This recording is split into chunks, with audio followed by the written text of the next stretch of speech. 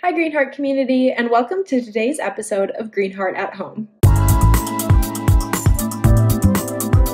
My name is Miss Allie, and I'm the Greenheart Project's Farm to School Program Coordinator and one of our garden educators. Today, in our lesson, we're going to work together to make some fruit, veggie, and herb flavored water to make hydration a little more fun and to try some cool, refreshing water recipes for the summer. Now, before we get started with our lesson today, we're going to review the three Greenheart rules of respect that we practice in every Greenheart lesson. The first thing that we respect in Greenheart is that we respect ourselves. In my lesson today, I'm going to be using a knife and other culinary materials, so I'm going to respect myself by being careful with these tools and using them correctly. The second thing that we respect in Greenheart is we respect our Greenheart buddies. In this lesson today, I'm cooking and making this recipe by myself, but a great way to show respect for buddies if I was working with someone else is to be careful with my body, practice self control, listen, and practice teamwork. And the third thing that we respect in Greenheart is we respect the earth. Today, as I work in my kitchen, I'm going to practice respect for the earth by composting my leftover food scraps and by making sure that I clean up after myself and don't leave my kitchen a mess. For our lesson today, you'll need water and some fresh fruits, veggies, or herbs to use to flavor your water. Now, the produce that you choose can be fresh or frozen, either works, and there's a wide variety of different recipes you can make with different fruits and vegetables. The great thing about this recipe that we're going to work on today is it's super simple and you can really make flavored water with so many different kinds of fruits and vegetables. For my recipe today, I'm going to go out to our Greenheart garden at Grow Food Carolina to gather some herbs and fruits to use in my water recipes. Alright buddies, so I'm out in the garden and the first thing that I'm going to collect is some basil. So the way that I harvest this is you go down to the stem, snap it off, and collect it into a harvest bag. You'll see that some of it's flowering, so I want to look for the ones that are just the green leaves. Go to the stem, snap it off, and collect. The next thing I'm going to harvest from the Greenheart Garden for our water today is some strawberries. So here you'll see the leaves of our strawberry plants that are really dense, so we need to look carefully to find some ripe strawberries. So right here, you'll see a ripe strawberry that's bright red, so we know it's ready to eat. There's actually two of them, and then there's one that's not quite ready and one that's still growing, but these are the ones that we want. So to harvest these correctly, I'm going to go down and find the berry that I want to pick. I'm going to carefully grab it above its leaves at the end of the stem and pop, pull it off using some strength to grab the strawberry. So carefully grab it above the leaves, rip it off gently, and collect and gather. So I spent about 20 minutes harvesting and look at all these strawberries that I was able to collect. And last but not least, I'm going to go into our pollinator bed and harvest some cilantro, which is an herb. So I'm going to find my cilantro, which looks just like this. I'm going to go down towards the base of the stem, and I'm going to rip off a whole sprig of it to use in my water today. Now, before we get started with our lesson today, let's review why it's important for us to drink water. So, 60% of the human body is made up of water. As you'll see in this picture, that's a big percentage of our body. Because so much of our body is water, it's super important that we drink enough water and stay hydrated to keep us healthy and keep our body functioning. Some of the benefits of drinking water or staying hydrated are that water helps our bodies to clean itself of toxins and waste. Another benefit of drinking water is that it can help to improve your mood, making you happier and feel better. Another benefit of drinking water is that it can help prevent headaches. If you're dehydrated, you might get really bad headaches, whereas if you drink water, it'll help to prevent this from happening. Another benefit of water is that it helps to promote healthy skin. It helps to smooth your digestion, which means that when you eat lots of food, it helps your body to process the food that you're eating and get all those nutrients out to your, the rest of your body. Another benefit of water is that it helps to fight fatigue, meaning that it'll keep you from getting tired. Water also helps to boost your kidney function, which is an important organ in your body that helps to filter blood and get rid of waste. Another benefit of water is it helps to regulate your body temperature. So when it's really hot out, water helps to cool you down. but it also allows your body to stay at the right temperature to function properly. Finally, water also is beneficial because it helps to increase your energy. So, whether you're out running around, you're in the classroom learning, or being active in your day to day life, water is important to make sure you have all the energy you need for whatever activity that you're doing. All right, so now that we've reviewed why water is so important for keeping our body healthy, let's get started on our flavored water recipes. Today, I'm going to be making three different recipes.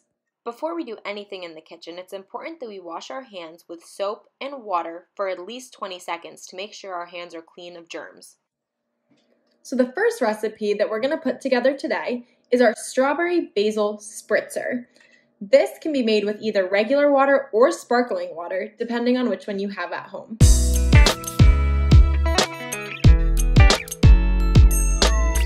So, as you can imagine from the name of our recipe, the two main ingredients that are going to be in our water today are strawberries, which you'll remember that I harvested fresh from our Greenheart garden, and I actually froze these ahead of time so it would make my water a little bit colder. And the second ingredient is our basil, which I also harvested from the Greenheart garden.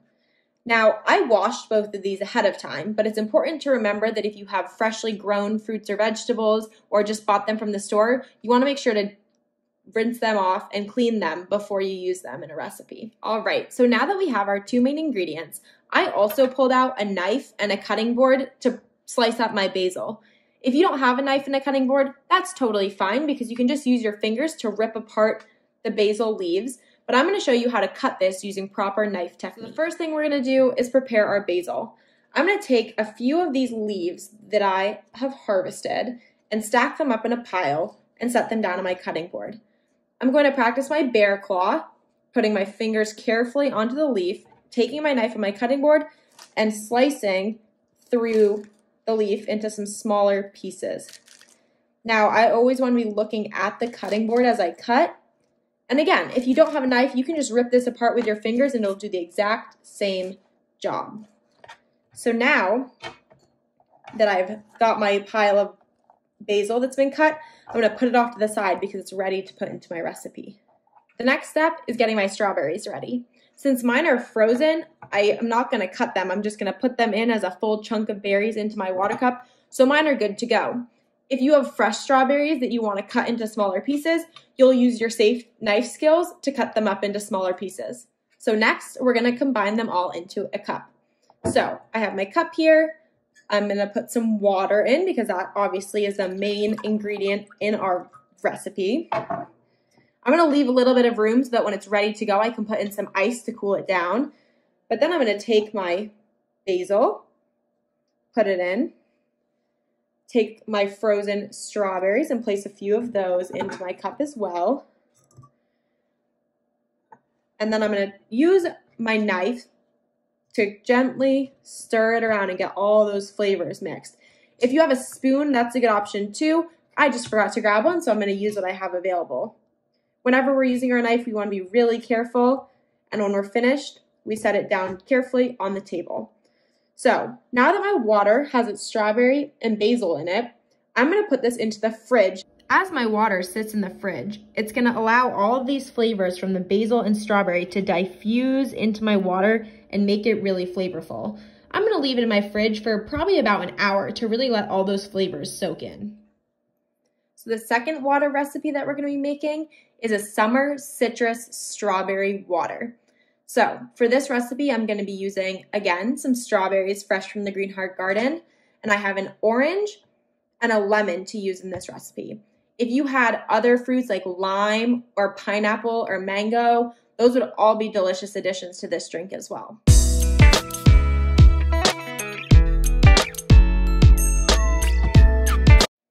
So the first thing I'm going to prepare is I'm going to peel my orange. I'm going to use my fingernail to gently start to peel off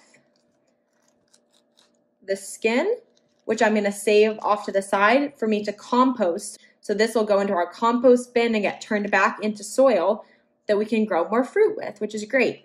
So then once it's all peeled, just like this, I'm gonna go ahead and break it apart into smaller pieces to put into my water. So I'm gonna make a little pile here and might take a little snack because I love these oranges so much. mm, this is gonna be a tasty one. Prepare is my lemon. So just like we did with the basil, I'm gonna grab a knife and I'm gonna use my bear claw to very carefully cut in to the lemon and cut it in half. Now, once this is cut in half, this is a lot of lemon. So I'm gonna save half for later. And then I'm gonna place it flat, use my bear claw, and cut it in half again so that I have about a quarter of a lemon to put into my drink and then a quarter to put on the side. All right, so now that I have my strawberries, my orange, and my lemon ready to go, I'm gonna grab my cup, fill it up with some water. Again, leaving some space because I might wanna put some ice in it later. And then I'm gonna start to put in my ingredients. So I'm going to take a chunk of my strawberries, drop those right in. They're gonna float because they're frozen at the moment. I'm gonna take some of my little orange slices and put those right in with my strawberries. And then I'm gonna take my lemon and squeeze it to get all the juices out. Now I'm noticing, if you look closely, there are some seeds in here. So I'm gonna quickly take, use my finger to just pull out as many seeds as I can to make sure that they don't get into my drink. And I'll teach you a little trick to make sure that you don't, if there are any left in there, they won't fall in. Put your hand over your cup. Again, you want to make sure this hand is washed because you want it to stay clean. And you're going to squeeze the lemon juice into your in the lines of your fingers. If there are any seeds, you'll catch them in your hand and be able to remove them from your drink. So I'm going to keep squeezing my lemon to get those lemon juices in. And then again, I'm going to take my knife I'm gonna give it a little mix to get all those flavors around. And then I'm gonna put it into the fridge to soak up some flavor. All right, so now that our two other waters are in the fridge, we're gonna make our third flavored water recipe, which is going to be a cucumber, lemon, and cilantro flavored water. This cilantro, which is an herb, grew right in our Greenheart gardens, and I'm gonna get to use it today in this water recipe, which is really exciting.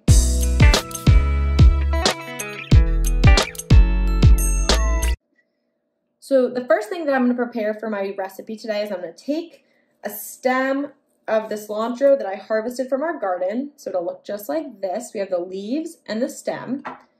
And I'm going to, it's been rinsed and washed. And so I'm going to peel off the leaves from the cilantro stem. So I'm going to carefully just work to take all the leaves off of the stem and gather them up in a little pile that I can use in my water. So I'm going to work to get all the leaves off. And you'll notice that all that's left is the stem, which we can compost. So I got my cilantro in a pile, and if I wanted a little more, I could definitely prepare some more. I'm just going to use this little amount because I think it'll be just right for my cup that I'm using. The second thing that I'm going to prepare is my cucumber. So this is just a little part of the much bigger cucumber. So I'm going to use my bear claw and my knife to cut thin slices of cucumber to use in my recipe.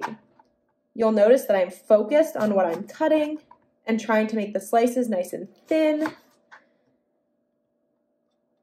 And so as I get towards the end, I'm going to go ahead and compost the end of my cucumber and I'm to stack these up in a pile so that they're ready to be used. I'm also going to go ahead and cut them in half just to make them a little bit smaller in my cup. So I'm to set these off to the side, ready to use for later. And the final thing, just like we did with our last recipe, we're going to prepare our lemon. So I used the other half of the lemon, which was the one I just used for the other water recipe. And I'm going to cut this one in half to use about a quarter, just like I did for the last one, for this recipe. So I'm to take my lemon, I'm to set it down, and put this off to the side to use on the side of my cup for when it's ready to drink. So now that I have all three of my ingredients, we're ready to mix them together. So I'm going to grab another cup. I'm going to fill it with what's left of my water. And this one's a little less full, and that's okay. I can just put some ice into it when it's done or top it off with some more water before I go put it in the fridge. So I'm going to take my cucumbers. And I'm going to carefully set them in. Remember, we don't want to make a mess, so bring them nice and close and don't make make sure they don't splash all over. Take my cilantro and I'm going to sprinkle, kind of break it apart a little bit more as I put it into my cup. And then I'm going to take my lemon, and this one looks like there's not too many seeds in it, which is exciting, so I won't have to use my hand to block it. But get that seed out, and then I'm going to squeeze my lemon.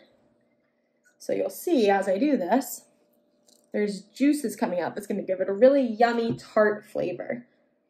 So we got that. All right, so our lemon has been put in. Again, I'm going to take my knife, give it a little stir to get all those flavors mixing around. And then I'm going to put this in the fridge with my other juices to let them absorb flavor. So, we talked about why hydration is so important for our body. But while our flavored waters are in the fridge absorbing all the yummy flavors that we just put into them, I want to spend a minute talking about why water and flavored waters are a good alternative to things like juices, sodas, or sweet teas. In this diagram here, you'll see an illustration of the amount of sugar that are in some common drinks that we might enjoy. Water, all the way on the left, has zero teaspoons of added sugar, whereas other drinks like orange juice, sports drinks, soda, sweet tea, or energy drinks all have a lot more sugar in them. For a kid, the recommended daily added sugar limit is about 6 teaspoons. If you look closely at our soda bottle, there's 15 teaspoons of sh- added sugar in that one container. That's over twice as much as the daily recommended amount. Now, by making flavored water using natural sugars from berries, we are reducing our sugar intake, which is really important for keeping us healthy.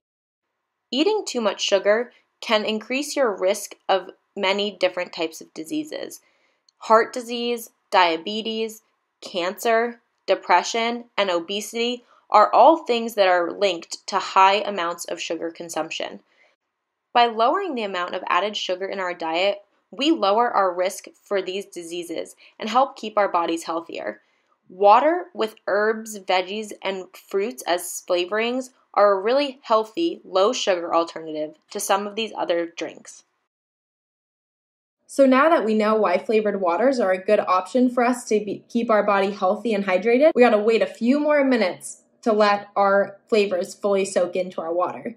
So let's fast forward and get to the good part. All right, so now that our flavored waters have had about an hour to let all the flavors diffuse out of the fruits and herbs and into our water, it's time to finish them up and give them a try.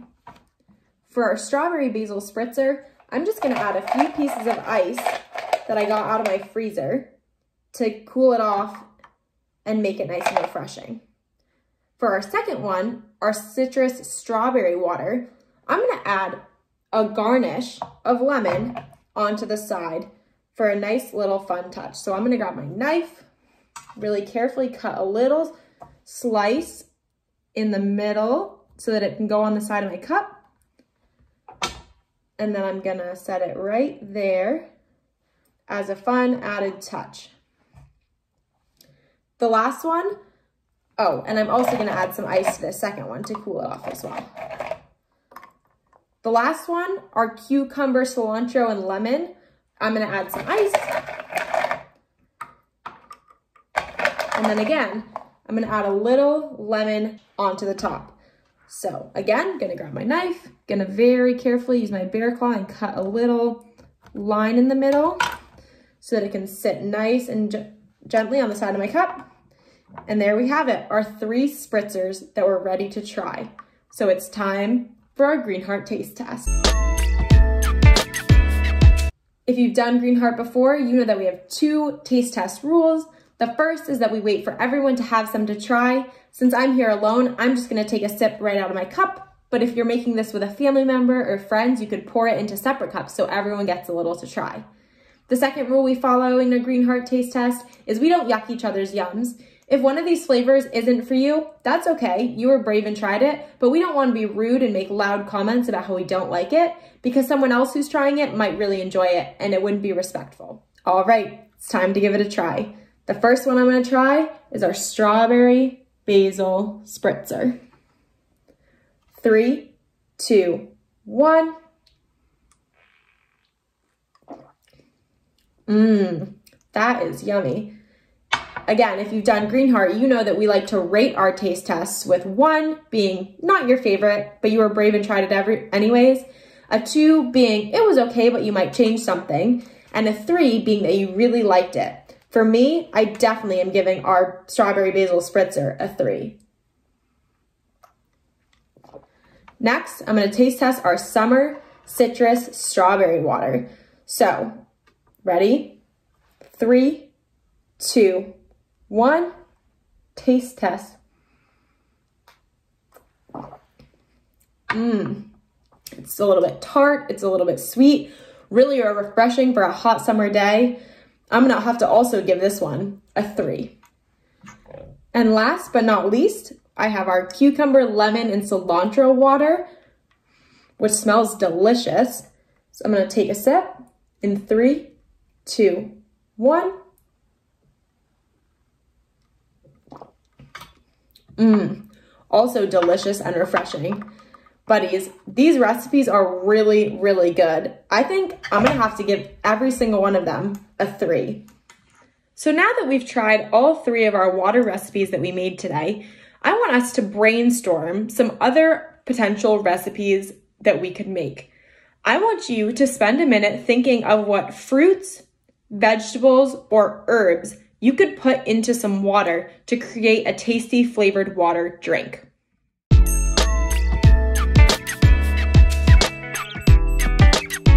Did you come up with some fun ones?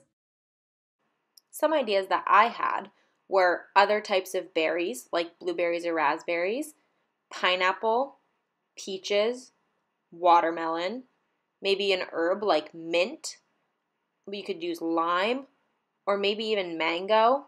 And there's a lot of other fresh produce options that you could also use. So I'm curious to hear what you thought of. Hopefully, you can give them a try and let me know how they turn out. Well, buddies, that's all for today's Greenheart at Home lesson. I hope that you stay well and healthy until I see you again. Thanks for tuning in, and I'll see you next time on Greenheart at Home. Cheers!